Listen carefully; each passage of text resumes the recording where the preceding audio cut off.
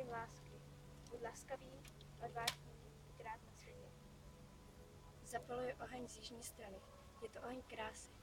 Buď čistý, silný a ochraň přírody. Zapaluje oheň z východní strany. Je to oheň pravdy. Buď poctivý, skromný, mluv pravdu.